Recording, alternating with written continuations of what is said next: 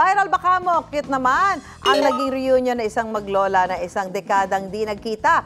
Ang apo kasi si Peter na nakatira sa New Zealand, biglang umuwi.